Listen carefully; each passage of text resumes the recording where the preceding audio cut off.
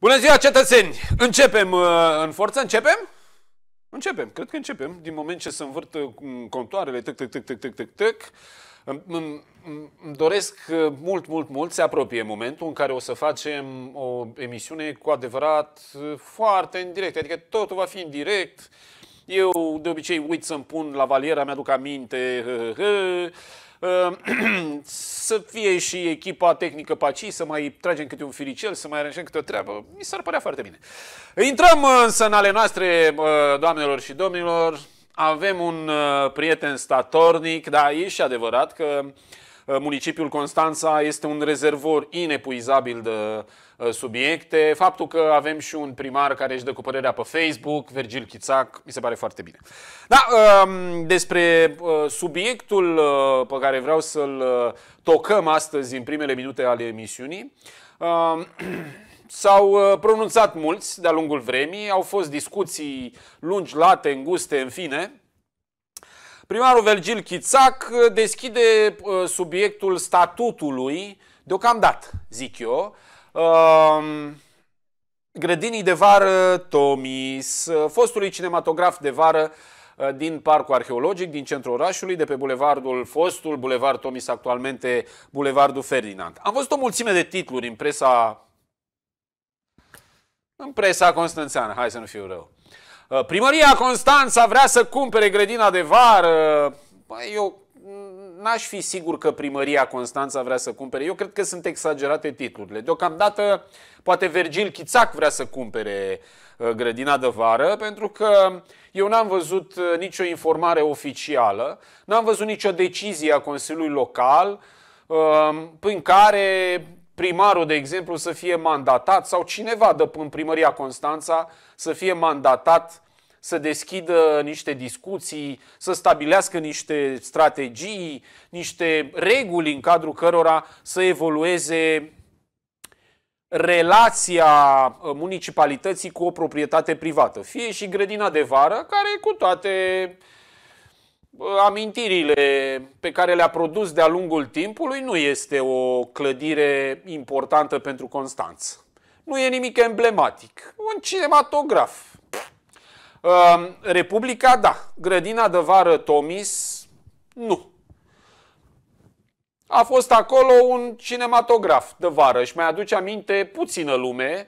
De altfel, uh, colegii mei, uh, dacă veți urmări și sper că ați urmărit uh, programele de știri, i-au mai întrebat pe unii alții ce părere aveți, ce bine, acolo cred că a fost ceva frumos, deci nici nu știau ce a fost acolo. N-are absolut nicio legătură, nu înțeleg ideea primarului Virgil Chițac, de-aia și zic atâta vreme cât nu există o solicitare, o decizie oficială a Consiliului Local. Eu cred că doar Virgil Chițac și prietenii lui din primărie, colegii lui, vor să o cumpere. Nu știu, poate s-a înțeles și cu viceprimarul rusu care înțeleg că e om cu bani și poate vor ei să o cumpere și să o doneze orașului Constanța, mă gândesc. Dar uh, Facebook-ul mă contrazice. Domnul Virgil Chițac, primarul Constanței, scrie așa pe contul său de Facebook, bineînțeles. A, nu știu exact, am mai zis, dar în fine, uh, domnul primar poate să-și exprime gândurile personale, evident, pe contul său. Eu cred că e un gând personal. Au trecut de mult vremurile în care intram nerăbdător să văd un film bun sau să mă bucur de un spectacol de calitate la grădina de vară din Constanța. Acum totul este o ruină năpădită de buruieni și plină de mizerie, o adevărată junglă că tot voia vechea administrație să transforme centrul Constanței într-o junglă urbană. Grădina de vară, bine, facem o paranteză. Domnul Chițac, dumneavoastră doar veți pune în aplicare proiectele administrației Făgădău. Dacă veți fi în stare să faceți un singur proiect nou pe care să-l și implementați în următorii patru ani, eu o să fiu primul care vă felicit și vă aduce un buchet de flori. Grădina de vară a fost cumpărată pe un, tez, pe un preț derizoriu de la Regia Autonomă a Distribuției și Exploatării Filmelor România. Fac o paranteză din nou, în jur de 200 de mii de, de dolari, cred că erau pe vremea aia. Uh, o nimica toată, dar sigur, domnul Chițac, poate sunați la partid să vedeți cine a vândut-o. uh, vă rog să rețineți, dragi telespectatori, uh, această sumă, uh, cum să spun eu, aproximativă, aproximativ 200.000 de dolari. De ce? O să vedeți de ce. A fost pe rând, scrie domnul Vergil Chițac, de vânzare pe un site de specialitate prin 2014. A fost groapă de gunoi, un parc în mijlocul unui parc public din inima Constanței. Asta nu uh, justifică dorința de a o cumpăra. Uh, poate doar dorința de a o salubriza. În tot acest timp, proprietarii nu au primit decât o somație conform căreia imobilul a fost încadrat în categoria imobilor neîngrijite și va fi supraimpozitat cu 300%. Stați liniștit, la fel a fost și la Casa Culei. Sunați-l pe domnul Comănescu, vă spun el. Mai departe, în tot acest timp, ziceați că sunteți prieteni. Nu am vrut să insinuez nimic altceva. Și alți domni și doamne, acum săracu și domnul Comănescu și le fură el pe toate. Și proprietarul de la Casa Manicatide și proprietarul uh, casei de vis-a-vis, de lângă Casa Culei, care, mă rog, acum văd că are un nou proprietar care s-a apucat să renoveze. Și cei care dețin fostul cabaret Britania și, și, și, și, e o listă lungă, nici Vila Șuțu nu mai arată așa de bine și e la vânzare tot pe un site ăsta de, de imobiliare, nu știu exact cui aparține acum, dar cred că una din marile case de licitație din România se ocupă de vânzarea acestei vile, pe care inițial s-au cerut, mi se pare, vreo 2 milioane de euro.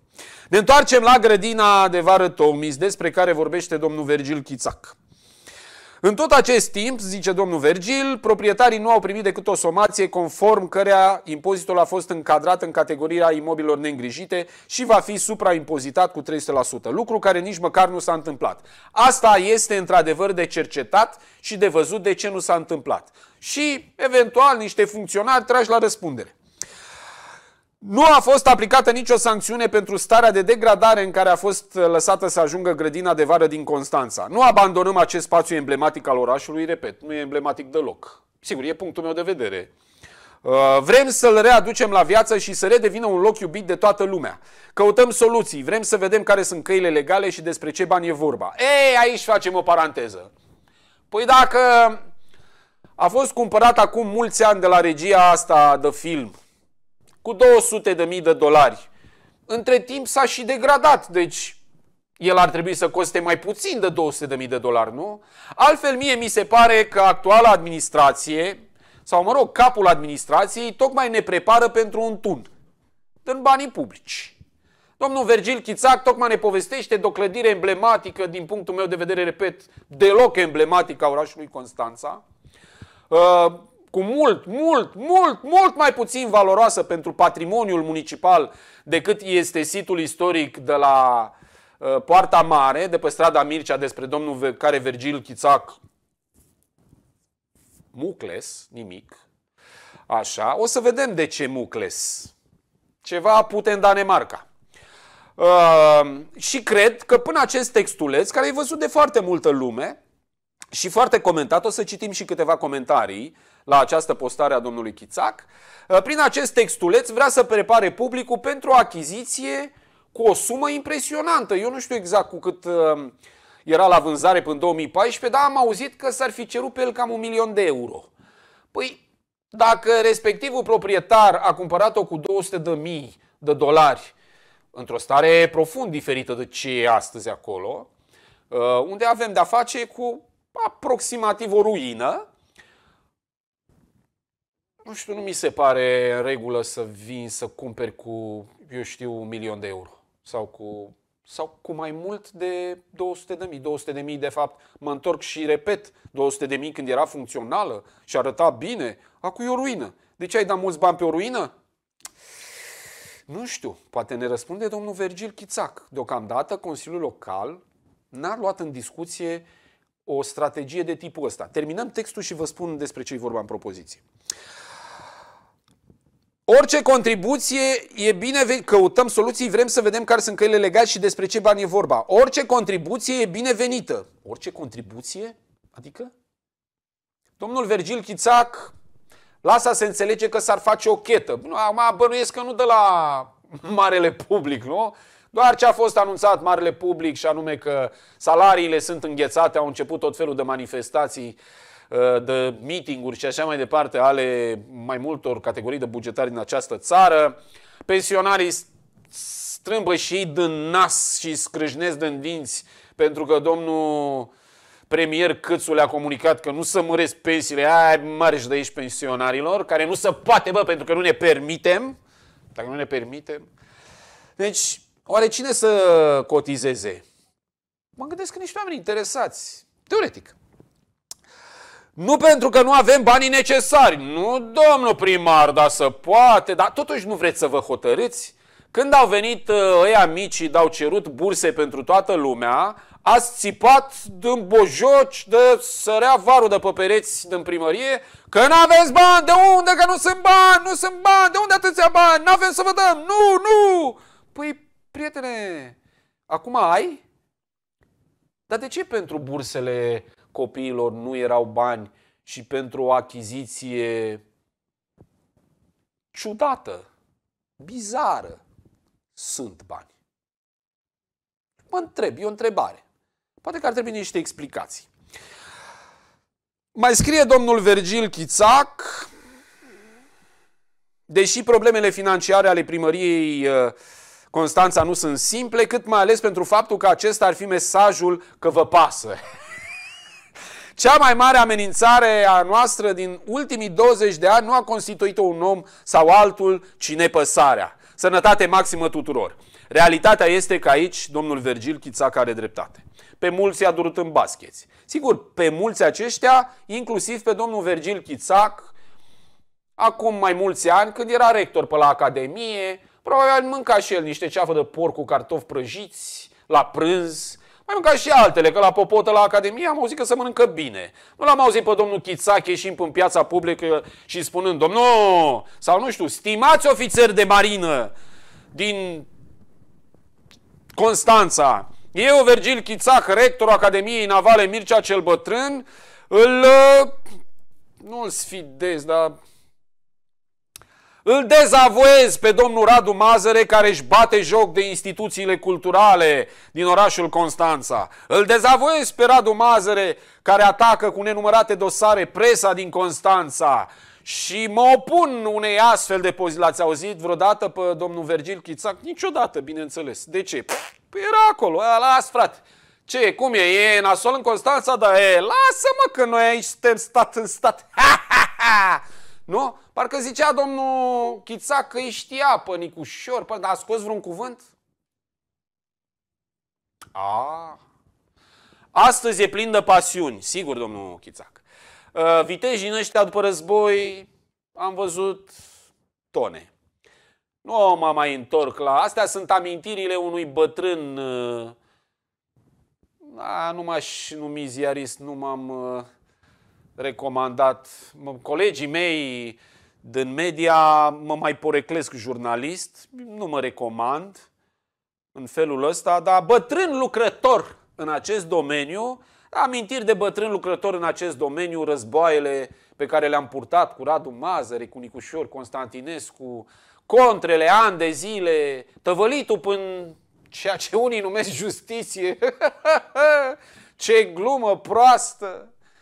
Da, îmi amintesc și astăzi chiloței roz din pantalonii transparenți ai doamnei judecător, foarte pătrunsă de personalitatea domnului Mazăre, care m-a și trimis la pușcărie.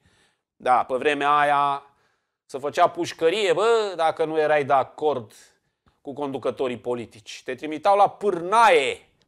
Să știți că nu e așa de ușor să te uiți la un judecător, cum spune, trei luni de pușcărie. Trei luni cu executare. De-astea. Parcă nu-ți vine. Hm? Dar domnul Vergil Chițac dăpozează astăzi, primarul Constanței, dăpozează astăzi într-un om cu inima sfâșiată de distrugere și de nepăsare? Nu știu pe unde era atunci. Se odihnea, își călca vestonul, avea treabă. N-avea legătură cu orașul Constanța, da.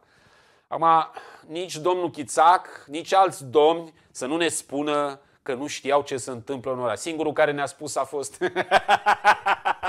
domnul Ion Stelian, care ne-a spus, bă, dar nu știam că Mazăre e rău. Mm, am aflat după aia. Ai, bre! Domnul Stelică, te-am iertat, ca și pe ăilalți. Nu e nimic, unii dintre noi, eu nu. Dar unii prieteni, colegi de domeniu ziariști. Caferii Predescu și-au furat-o, au pierdut niște procese. Eu nu. Um, da, vedeți, să nu mai vorbim despre nepăsare. Să ne punem puțină cenușă în cap, domnul Vergil, că atunci când trebuia să vorbim am tăcut. Era mai eficient pentru propriul nostru, pentru burtica noastră. Așa. Ca așa ne arăta unii alții care astăzi, în fine. Și atunci ne spuneau, lasă bă că e burtica noastră. Acum să mâncăm că e tăticul nostru la primărie, ne spune. Da, mă, e tăticul vostru, dar tăticul vostru face nenorociri în oraș. Domnul Vergil Chițac, totuși, deși după părerea mea o face complet greșit și într-un mod bizar repet, spunând că o dorește să achiziționeze o proprietate privată pe care o numește emblematică, dar nu e părerea mea, repet lucrul ăsta. Totuși, domnul Vergil Chițac, primarul Constanței, ridică la file o problemă interesantă și importantă. Cum își recuperează Constanța anumite clădiri de patrimoniu? Cum își protejează Constanța zona istorică? Pentru că agresiunea acelui excavator care în toamnă săpa flămând în zona istorică pentru ca un om de afaceri să-și ridice acolo o clădire despre care ne spune că să vedeți că e frumoasă. Da, domne, sigur, e foarte frumoasă, dar noi unii suntem de părere că la nu era locul ei. Nu știu, poate altul. Um, cred că această abordare nu trebuie luată pe obiectiv. Da, sigur, municipalitatea și comunitatea în speță trebuie să recupereze sau să protejeze uh, zona istorică, măcar zona istorică.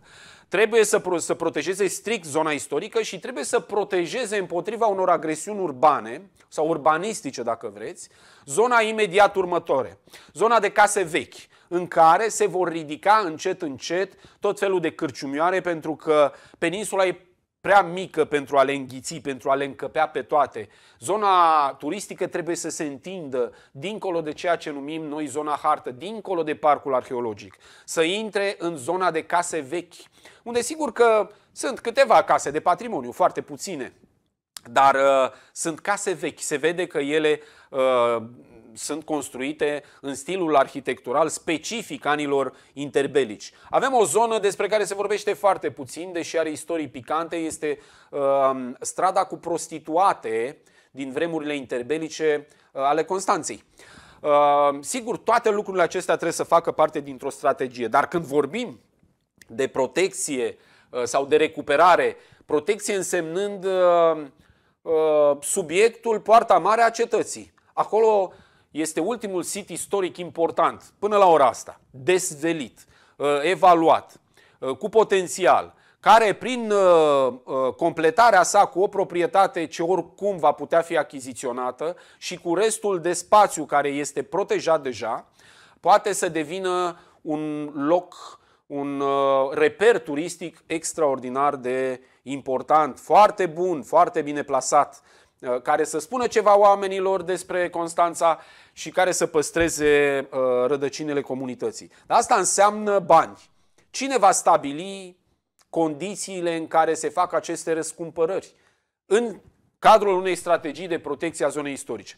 Repet, uh, subiectul ridicat la fireu de Virgil Chițac este interesant și trebuie analizat. Poate că ar trebui lansat totuși oficial nu suntem la o dezbatere pe Facebook. Spre exemplu, părerea unuia dintre cei mai importanți uh, actori ai Constanței, să trăiți maestre, Liviu Manolache, uh, scris uh, ca un comentariu la postarea lui Virgil Chițac, sună așa.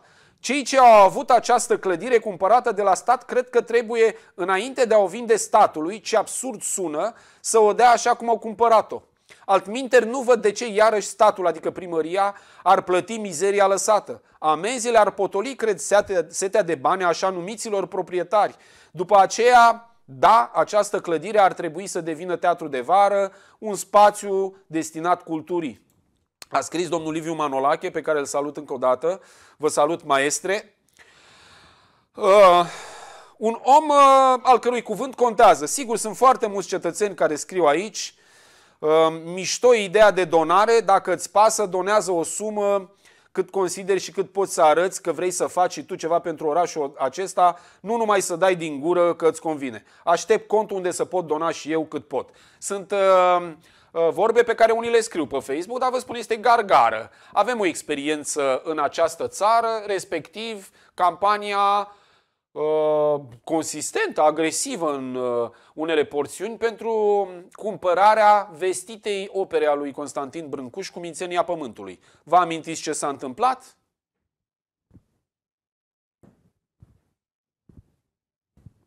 Nu s-a întâmplat nimic. S-au strâns niște bani, nu cât trebuia, oricum, foarte departe de ce trebuia. Ministerul Culturii a supralicitat că mai dă niște bani, guvernul că mai dă niște bani s-a întâmplat nimic. Uh, nu s-a întâmplat nicio cumpărare, dar a fost o problemă după aia. Cum le dai oamenilor bani înapoi? Fiindcă ai o problemă în momentul ăla. Cineva ți-a dat niște bani cu un scop precis. Ce vei face dacă nu ți împlinești acel scop? Trebuie să dai bani înapoi. S-or fi dat bani înapoi? Hmm, am niște îndoieli. Scrie... Mă rog, scriu tot felul de domni și doamne despre foarte multe probleme.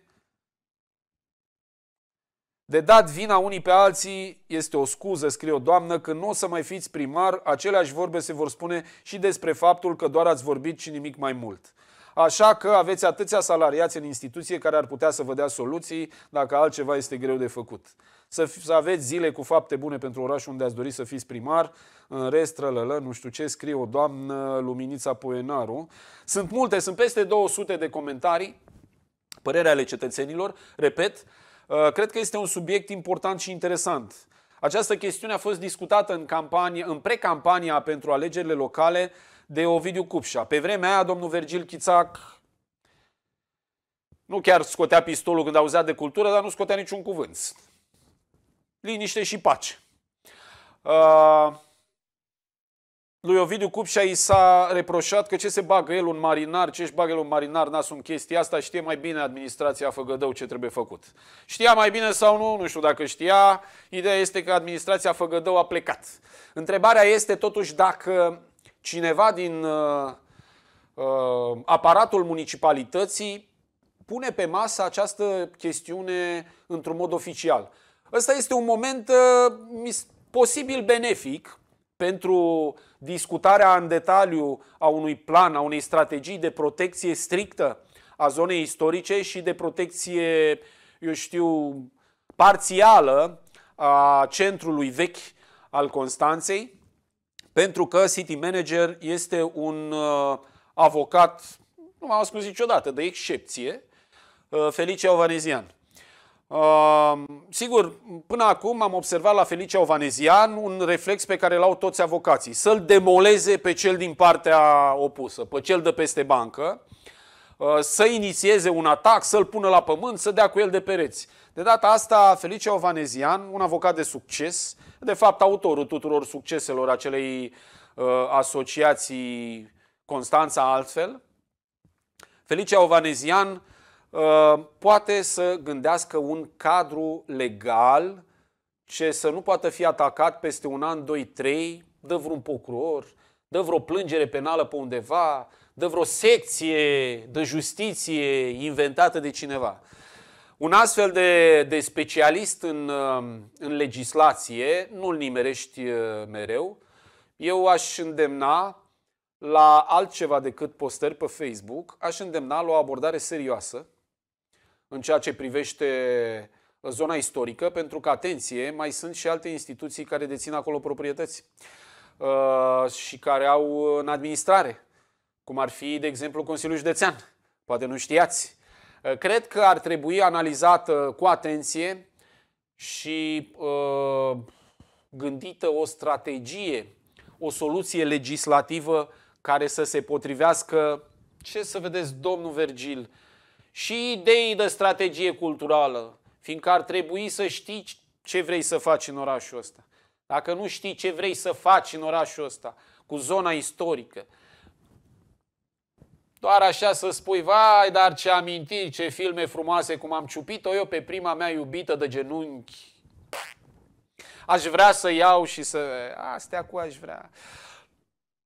Aș vrea și eu acum să luăm câteva secunde de publicitate, după care ne întoarcem, fiindcă mai avem uh, subiect. Chiar câteva secunde au fost. Ei, hai, câteva minute, exagerăm. Ne întoarcem, uh, dragi prieteni, uh, la a comenta știrile zilei. Repet, uh, dar înainte de a intra în ele, avem, avem, avem, dacă tot vorbim de patrimoniu, avem. Stați așa că ne întindem și la Medgidia. Dar înainte de a ajunge acolo, trebuie să vă spun că m-am întâlnit astăzi cu o doamnă, de o prețuiesc foarte mult, ne cunoaștem de uh, mulți ani, care este activă în politică, e o femeie de toată isprava, uh, o admir, e o luptătoare, știe ce vrea și mi-a zis, băi, dar ce ai cu noi, mă? Ce ai cu noi, mă? N-am, doamnă, nimic, dar să vă spun ceva. Uitați-vă, doamnă, cu atât, ați câștigat alegerile. Foarte bine, bravo, așa e în politică. Politica nu e... Nu e făcută de armata popor, de armata salvării. E făcută de niște partide. Ce vor partidele? Să aibă puterea, să fie la butoane. De ce vor asta? Pă, teoretic, ca să implementeze proiectele pe care le au la partid puse în uh, cutia cu miracole. Uh, da, mă rog, practic mai sunt pe acolo și oportuniști, nu intrăm în uh, discuțiile astea de detalii. Dar, doamnă, ați câștigat alegerile. Da? Bun, bun, bun, bun. Uitați-vă cu atenție la ușa de la intrare. Deocamdată sunt vreo 4-5. Dar vedeți că sunt așezate acolo, lăsate sacoșile. Da, da, lăsate așa. O să vedeți un cârd lung de cântăreți care o să vă spună că sunteți frumoși, că sunteți deștepți, că sunteți de vremea acasă, că ca voi nu e nimeni pe fața pământului, dar nu ne dați și nouă ceva? Așa o să fie. Eu am să vă fiu cel mai bun prieten, menținându-vă atenția trează. Negru în cerul gurii, dar să știți de la mine un adevăr măreț. Nimeni, niciodată, nici cum n-a îndrăznit să vină și să spună hai să semnăm și noi o ceva ca să-l belim pe...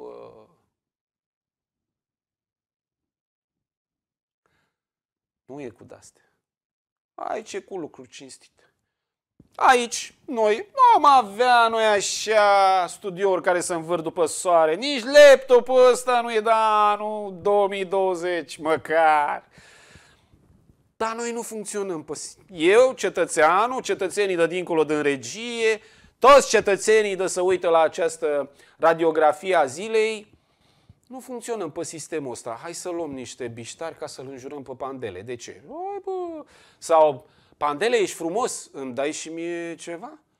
Nu? A, stai că zic vreo două nasoale în fiecare zi, până te hotărăști, bă. Așa sunt ăia care stau la codița aia și cărora niște instituții de bine de acolo, că ori fi din primărie, că ori fi din jurul ei. Veți vedea, dragă doamnă, că le vor da niște biștari ca să fie bine, să fie frumos. așa sunt lucrurile. Aci nu merge cu treaba asta. Da? Deci, dragă doamnă, bucurați-vă că mă aveți adversar pe mine, că mulți nu mai sunt prin oraș. Pentru că mie, să știți, nu-mi place prostia. În rest, îmi plac toate lucrurile alea frumoase, pozitive, constructive. Mă rog, nu-i bine să spui pozitive în ziua de azi, dar ne întoarcem la ale noastre, dragi prieteni, mai avem vreo 24 de minute. Doamne ajută, mulțumim regiei și conducerii televiziunii că ne dă încă timp să facem gălăgie. Ne întoarcem la ale noastre, ziceam, și ne întoarcem tot la o discuție despre patrimoniu, de data asta nu de la Constanța, ci de la Medgidia, unde niște foști conducători ai județului s-au gândit să ia la mișto o clădire. Clădirea este o clădire foarte frumoasă, e din centrul uh, Medgidiei și până acum niște ani era muzeul, uh, adăpostea muzeul Lucian Grigorescu. Clădirea este de patrimoniu. Sigur, pe vremea când acolo era un muzeu, funcționa acest muzeu, uh, era, arăta foarte bine. Astăzi are bucăți din acoperiș căzute și lucrul ăsta se întâmplă și pentru că onor fosta conducere a Consiliului Județean la solicitarea primarului din Medgidia, Valentin Vrabie, a trimis un răspuns la mișto. Pentru că nu pot să considere altfel răspunsul domnirilor lor la solicitarea comunității din Medgidia, că dacă stau să mă gândesc bine, nu cred că lua vrabie muzeul la subțioare, se ducea la el acasă, îl băga sub pat, ca să doarmă pe el, să fie al lui. Nu! De ce, ce ar fi putut să facă? E simplu, e la mintea unei găini matoale. Scria un proiect mare și frumos, așa cum a mai scris pentru municipalitate. Sigur, nu scria el, scria echipa lui sub conducerea, mai intrăm în detalii tâmpite. Da? Uh, și se ducea cu el la finanțare. Lua o mulțime de bănișori pe care îi băga în clădirea aia. Nu mai cădea acoperișul. Se reabilita clădirea. Municipiul Medgidia, ați reținut? Municipiu. Bă, nu ești municipiu doar pentru că ai mai mulți locuitori. Ești municipiu pentru că ai și tu. Mă, un muzeu, două, trei. Da. Uh, ai și tu niște servicii culturale mai avansate, tăticu. În Medgidia, la ora asta, păi eu nu mi-am să fie al muzeu, jur. Este o bibliotecă și aia înghesuită. O salut pe doamna Neugis, o femeie de toată isprava și ea, uh, șefa bibliotecii din Medgidia, care se descurcă așa cu oia 5 metri pătrați puși la dispoziție într-o clădire veche și de demult, deoarece la Medgidia niște consilieri, adică niște partide, când a venit alu Vrabie cu un proiect mare de 5 milioane de euro să facă o bibliotecă nouă, cu tot ce trebuie, cu spațiu verde, cu alea și cu pe dincolo, i-au zis nu. De ce? De teșe. Nu. Pe vremea Vrabie nu era în partid încă, acum este într-un partid. Da, pentru că nu era într-un partid, adică e pe principiu, bă, tu cu cine te joci? Păi eu cu cetățenii, cu... Noi suntem partidele pisi. Și noi spunem nu. Așa a pierdut uh, Medgidia șansa de a avea o bibliotecă nouă, modernă, pă, ceva. A pierdut-o. Acum ar fi bine, pentru că anii trec peste clădirea muzeului din Medgidia, să nu ne batem joc nici de clădirea aia de patrimoniu, să o dăm înapoi uh, comunității din Medgidia. Repet, am mai, am mai auzit și am mai văzut uh, uh, această idee, e o tentație foarte mare. Spune, ce bă, eu dăm lui Vrabie sau eu dăm lui zi, uh, Chelaru, că nu venea în minte numele primarului de la Năvodari, sau lui nu mai știu care, da? Bă, dar nu i-o dai lui, mă, că nu se duce. Eu m-am uitat la cimitir, nici primarii n-au nimic în mâini când se duc de desubt. Nu, nimeni nu-i veșnic pe scaunul ăla. Da, să vă povestesc câteva lucruri despre uh, acest spital. Să știți că, stați că vă spun eu, vă spun așa, da, da. în Megidia e o televiziune, Alfa Media se numește, bine, două, dar na. Uh, această televiziune, Alfa Media, a început o campanie de recuperare a Muzeului de Artă, Lucian Grigorescu. Unii nu știu nici cine e Lucian Grigorescu. Bă.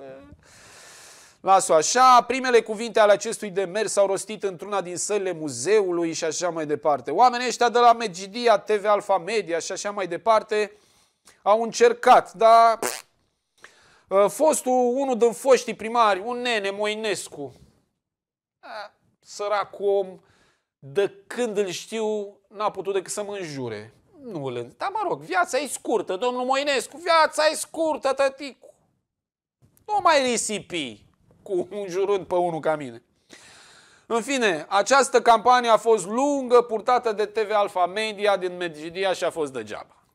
Rezultatul campaniilor, solicitărilor și așa mai departe, explicațiilor, dorinței oamenilor din Medgidia a fost că uh, fostul președinte al Consiliului Județean, Horia Țuțuianu, a trimis uh, clădirea muzeului înapoi comunității din Medgidia pe o durată limitată. Mi se pare că pe trei ani. O bătaie de joc. Nu se poți să accesezi niciun leu de niciunde pe o clădire care nu e a ta și nici măcar nu e a ta pe 50 de ani, e a ta pe 3 ani. Ehm, cam asta a fost considerația pe care a ținut domnul fost președinte de la Consiliul Județean Constanța să o arate oamenilor de Medgidia. Eu ce să zic, îl felicit. Acum conducerea Consiliului Județean s-a schimbat.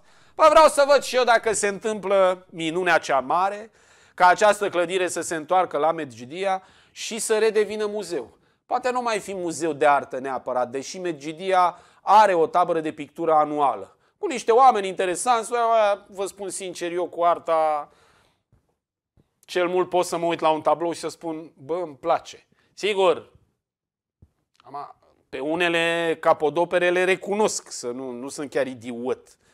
Adică știu și eu ce e aia. Mai cunosc și niște povești despre de ce picturile lui Andreescu se albesc.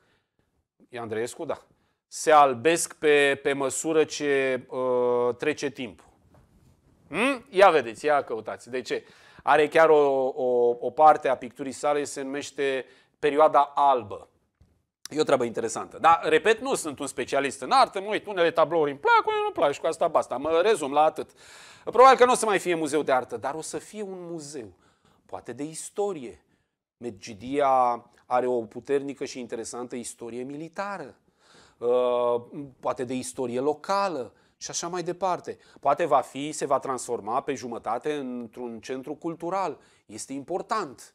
Da? Astăzi picturile celor care donează către Medgidia stau pe holurile parchetului, are poliției, bă, dar la ale spitalului nu sunt sigur, dar s-ar putea, bă, îți vine să râzi așa, cea, ale primăriei, plină primăria de tablouri pe holuri, te știu și te gândești, băi, nene, pe oamenii ăștia n-au unde să expună, n-au expoziție. Dar asta cred că trebuie să facă parte din planul primarului de la Medgidia, Valentin Vrabie, nu știu dacă pentru mandatul ăsta, dar dacă nu pentru următorul, să existe o galerie de artă, o expoziție, o clădire cu destinație exclusivă de artă plastică. Dacă ai o tabără cu o tradiție impresionantă de pictură, de artă plastică, de sculptură, de așa mai departe, poate ar fi bine să ai și o galerie de artă da, deci îndemn atât Primăria Medgidia cât și Consiliul Județean să purceadă la treabă. Hai, fraților, să dăm înapoi Medgidiei muzeul, să-l amenajăm, să-l modernizăm și să creăm acolo un muzeu. Nu de alta, dar dincolo de păstrarea patrimoniului, Medgidia are nevoie și de un muzeu, fiindcă uh, are nevoie de niște capacități turistice, un festival uh, de reconstituiri istorice cel mai mare din România îl avea deja. Bun, uh, ca să nu ne depărtăm de istorie, trei vorbe despre Casa Imbiricos din uh, Constanța, pentru că, iată, e, critica face bine la ficat. Da, da, da, vorba reclamei, ficat, ficat, ficat. la ficatul cultural, sigur. Aflăm de la Focus Press, într-un material semnat de domnul Valentin Ispas, pe care îl salut, salut Tizule, Aflăm din uh, materialul acesta, publicat, ziceam, de Focus Press, că încep lucrările de punere în siguranță a casei Imbiricos. Bă, încep niște lucrări, în sfârșit. Fostul palat al navigației, de care v-am povestit, un proiect anunțat de administrația Făgădău și atât. Sigur, am înțeles că e în parteneriat cu Camera de Comerț. În ultimii ani, Camera de Comerț, în afară de a copia un eveniment uh, privat la care mărturisesc că am și eu o contribuție importantă, n-a făcut mai nimic, paci. Ați auzit de un mega proiect al Camerei de Comerț care zicea că o să ceva, o să rupă nori, o... Când îți iei parteneri din ăștia, domnul Făgădă, așa e viața, să știi. Primăria Constanța a emis într-o singură zi și certificatul de urbanism și autorizația de construire pentru consolidarea casei Embiricos de pe strada Nicolae Titulescu din uh, peninsulă, din zona istorică. La sfârșitul anului trecut, din nou, mai multe bucăți din fațada clădirii s-au prăbușit pe caldărâm, din fericire, fără să rănească pe nimeni, așa că a fost închisă o parte din stradă, iar primarul Chițac a anunțat că se va ocupa de repararea acestui imobil. Reabilitarea totală cu fonduri europene nu se poate demara, reprezentanții primăriei susținând uh, recent că se opun patru vecini. Păi, eu nu înțeleg asta cu se opun niște vecini. Adică, băi, ce facem, mă? Avem un proiect de 8 milioane de euro, șef. Și? Păi și nu putem, fiindcă nu vrea Nea Pandele de la etajul 2 de la blocul de vis-a-vis -vis, să semneze că e de acord cu șantierul. Nu vrea? Nu. Oh. Păi ia chemați-l, mă, pe șeful de la locală. Ia vină, mă, tovarășul șef. Pe strada nu știu care, la blocul nu știu care, la etajul așa, locuiește un domn care, bă, ne împiedicăm în el, dă un proiect de 1 milioane de euro, de cade o clădire de patrimoniu peste noi și nu putem, că nu vrea omul să dea o semnătură ca să pornim șantierul. Așa. Ia vezi, mă. Și se duce domnul de la locală și pune două echipaje care dorm, bă, și se uită așa. Pac, aprinde neapandele, lumina la ora 1. A, a încălcat regimul liniștii și ordine publice. Bună seara, domnul Pandele, da, de la poliția locală ați aprins lumina la 1 noaptea. Păi da, da, ia, ai încălcat regulamentul. 20 de milioane, ia daci amendă, vezi, poate nu o plătești. Băi, îi dădeam, îi dădeam amenzi, le dădeam la ăștia amenzi nenumărate. Nu sunt de acord cu această chestie. Mi se pare un lucru rău. Dacă vorbim ca, nu știu, procedură generală, bă, tăticule, dacă în un oraș aduce în curte 8, 10, nu știu mai știu câte milioane de euro, nu știu dacă a scris Valentin Spas aici, în fine, nu mai amintesc, era o sumă de tipul ăsta, 8 sau 10 milioane de euro, mulți bani. Nu și un dobitoc, că nu poți să-l numești altfel. Nu vrea el, nu, bă, nu. nu poate, nu știu, o fi vrut să-i dea și lui ceva sau... Nici nu mă interesează. Nu mă interesează motivul pentru care nu. Bă, prietene, te calc pe urechi cu toată puterea instituțiilor statului, bă, băiatul. Bă, pentru că un oraș vrea să-i salveze o parte din memoria lui și te opui tu un lache. Nu, tăticu, te calc pe toate urechile, cu toate instituțiile. Bă, dacă ai aruncat un chiștoc pe stradă, lângă tine următoarea secundă e un polițist care îți dă o amendă. Dacă ai scuipat, mai e unul care îți dă, îți mai dă o amendă. Dacă te-ai urât, te-ai uitat urât la o femeie, e unul care îți face o plângere, bă. Bă, te, te... Știți cum e? În general, până nu... Există momente când trebuie să fii un nenorocit. Există momente când trebuie să fii un nenorocit, pentru că la noi democrația s-a interpretat în sensul anarhiei. Da, mă doare la basket. De ce? Eu sunt șmecher. Și nu vreau, bă. Nu vreau. Deci sunt un șmecher. Și tot orașul vrea, dar eu nu vreau, bă. Nu merge. Nu merge. Sigur, nu recomand așa ceva autorităților statului. Dar eu, dacă aș fi... Să citim mai departe, fiindcă mai avem de citit câte una alta. Scrie în Focus PES, Valentini Spas. Ce mai scrie? Deoarece Casa Imbericos a devenit pericol public, prim, primăria se poate prevala de articolul 7.16 din legea nu știu care pentru a desfășura lucrările de consolidare în regim de urgență. Actul normativ prevede că în cazul construcțiilor care e pericol public și așa mai departe, citează din tot felul de legi domnul Valentini Spas, reamintim, zice Focus Press că în 2019 primăria Constanța a semnat contractul de finanțare nerambursabilă pentru transformarea casei Imbiricos într-un incubator de afaceri modern, primul hub regional dedicat industriilor creative pentru antreprenori din partea de sud-est a României. Însă nici până acum nu a început derularea proiectului, deoarece proprietarii clădirilor învecinate nu își dau acordul pentru lucrările de reabilitare. Știți cine a fost primul individ care s-a opus să înceapă lucrările aproape un an de zile? Ștabul de la Biserica Catolică, bă, fraților. Da! Tătânele preoților de acolo. Da. El. După aia a spus că nu, domne, nu e adevărat. Nu, nu, să știți. Cum, eu? Nu, nu, nu, nu, a fost o interpretare greșită. N-ați înțeles bine. Ce incredibil. Incredibil. Da, bun. Uh, avem totuși vești bune. Ideea este că la ei, în Biricos, se întâmplă ceva, se face un pas înainte, dar se mai face un pas înainte. Prezidentul de la Consiliul Județean Mihai Lupu apasă pe pedala de accelerație în sfârșit. Nu oricum, pe drumul expres uh, Constanța Tulcea. Eu, ca ghid autorizat uh, de turism, dragi prieteni, ne-a semnat domnul ministru. Aici, Ministerul Guvernul României m-a recunoscut. Da, sunt recunoscut, sunt atestat oficial uh, pentru așa ceva, pentru astfel de activități în țara noastră și în diverse alte țări, conform statutului. Uh, și ne anunță Marius Florian în Tomis News că mm, s-a apăsat pedala pentru drumul expres Constanța-Tulcea. Citează o declarație a lui Mihai Lupu. Mi se pare nefirească taxa de intrare în județele noastre. Asta este un al doilea subiect. Dacă vrei să intri în Dobrogea, îți cer unii niște bani. Dacă vrei să ieși din Dobrogea, îți cer unii niște bani. Bă, prietene, unde suntem aici? Dar noi suntem, adică n-am înțeles, suntem pe persoană privată. Bă, jos taxele! Asta a fost un subiect discutat la vremea respectivă și de actualul președinte al, uh, al uh, Camerei de mm, Comerț și Industrie a României, Mihai Daraban, a, Mihai Daraban, când a ajuns acolo președinte, pare că a lăsat-o mai moartă, așa, pentru că nu s-a mai discutat această chestie. Oare de ce firmele din Dobrogea trebuie să plătească niște taxe în plus față de alte firme din România, uh, pentru că trec un pod, pentru că trec Dunărea. Dar ce bă, am vrut noi să treacă Dunărea pe aici? nu ne interesează.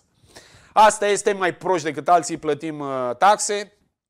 Președintele Consiliului Județean Mihai Lupu și administratorul public Gabriel Monea au participat împreună cu subprefectul județului Constanța Alice Nol, alături de reprezentanții Companiei Naționale de Administrație a Infrastructurii Rutiere și cei proiectantului Asocierea Gâl Bâl Bâl la prima secțiune de lucru privind construirea drumului expres Constanța-Tulci.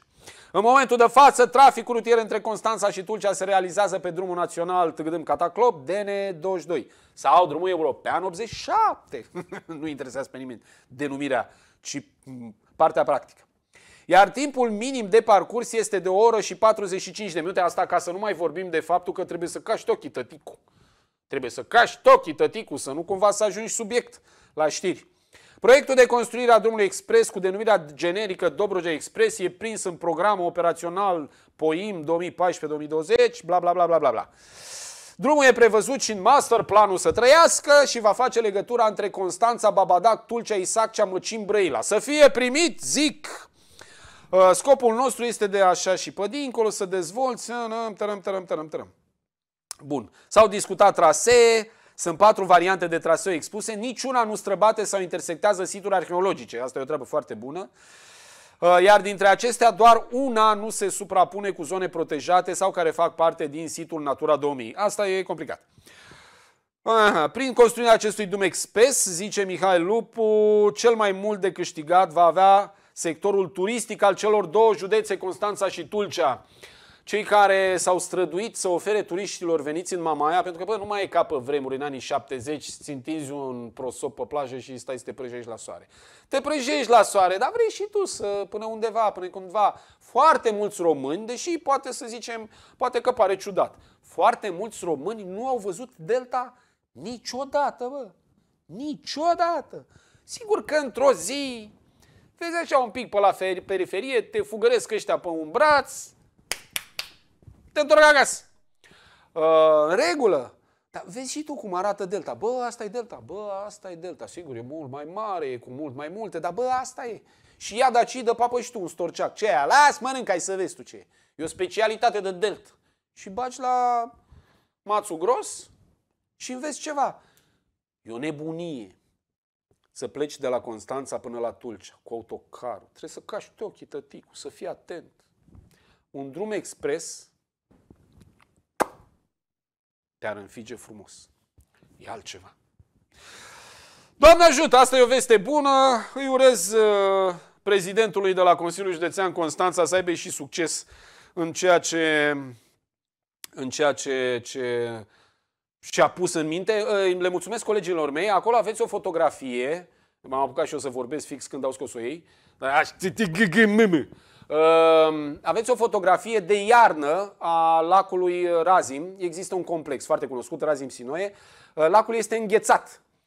Ehm, din păcate, fotografia mea nu e făcută așa de genial. Oamenii sunt prinși într-o parte a fotografiei. Lacul este înghețat tun pe el în fiecare iarnă apar o mulțime de copii cu săni și cu patine și să dau de la ies ochii ca la melc. Sunt cei mai fericiți copii. Fotografia e făcută la Saichioi. A, bă, mulțumesc, mulțumesc. Colegii v-au afișat-o și în full. Se vede un părinte cu un copil care umblă pe lac, efectiv. Deci gheața este foarte groasă. Iarna, mulțumesc dragilor. Uh, sunt zone spectaculoase, astfel de drumuri expres vor contribui nu doar la îmbunătățirea serviciilor din zona asta de litoral, unde oamenii vin și mama aia, tătic, în afară decât să mănânci, să te prejești, ce Dumnezeu să faci altceva? Da, ne întoarcem puțin la Constanța, pentru că domnul Rusu, ham-ham ați dat, belea a scăpătat. De când ați vorbit că vreți să vă băgați asta într-o treabă complicată, să știți, domnul Rusu. E, acum are noi, râdem glumim, dacă v-ați pierdut simțul umorului pe stradă, aia e, rămânem în viață cum putem. Uh, dar asta e o treabă foarte delicată. Altfel, oamenii nu vor să fie mușcați de câini, nu vor să fie deranjați. Dragă, de când a zis viceprimarul ăsta nou că se ocupă de câini, uite și tu ce haide de maidanezi au apărut Ă, sună la ziar, să-l dăm la ziar, nu se mai poate. Și așa a ajuns viceprimarul rusu de la Constanța la gazetă. Vorba aia, bună ziua, ai dat belea, ai căpătat?